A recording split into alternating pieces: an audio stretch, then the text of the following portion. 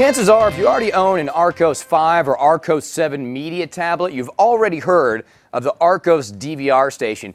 Uh, maybe you've heard of none of this stuff, but as soon as you hear about this DVR station, you'll probably be in line to buy one of these Archos media tablets. This is very cool. The Archos DVR station will allow you to use your Archos 5 or Archos 7 media tablet to record all of your favorite TV programs straight to the device so that when you're ready to hit the road and you're ready to go out and do your stuff, you can just take this with you and all your TV shows are automatically waiting for you on your portable device. And of course, if you decide you want to watch them on TV, you simply drop this into its dock and you can watch everything right on your television. It'll even turn this little device into a full TV sized interface, allowing you to browse the web and use your Archos media tablet how you would with your fingers, but with this really, really cool remote control, which gives you full, full cursor control, full directional control, and a QWERTY keypad right there, so you can use this from across the room without having to do uh, anything extra, really. And as you can see right behind me, look at that. You can turn your TV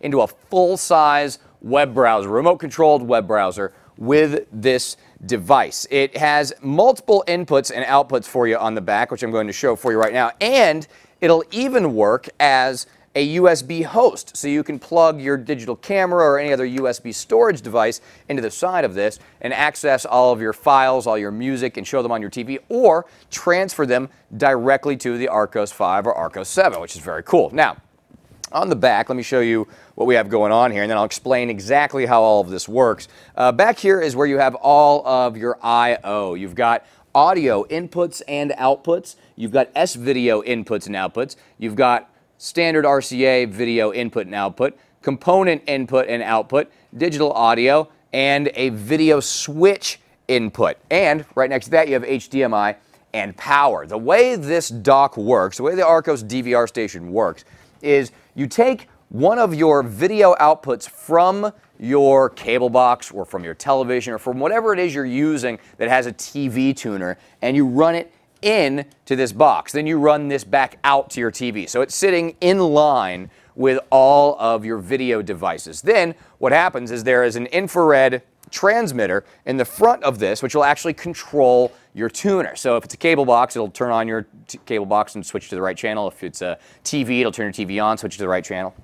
And then it's able to record whatever you program through the on-screen program guide, which is located right over here. So you simply pull up the program guide and then you can record any program of your choice, schedule it right here, and when you're ready to go, you can take all of your favorite shows with you, or of course, if you simply want to watch them on TV, you can do that too. And it gives you the full experience of using your Archos Media tablet on your big screen TV, which means you'll still be able to use all those flash games, all those flash applications that can run on the Archos 5 or 7. You can do it right on your TV, which is very, very cool. Very simple setup, very easy to use device, and a huge selling point if you already own one of these Archos media tablets. If you don't already own one, eh, maybe this will push you over the edge because this is sort of a unique accessory uh, to your standard portable media player. So go check this out. It's the Archos DVR station. It's out there right now, and it's going to make your whole media life just a little bit more fun. To get more info on the Archos DVR station for your Archos 5 or Archos 7 media tablet, go to any of the retailers you see listed here and type in A685-0010. For Computer TV, I'm Bauer.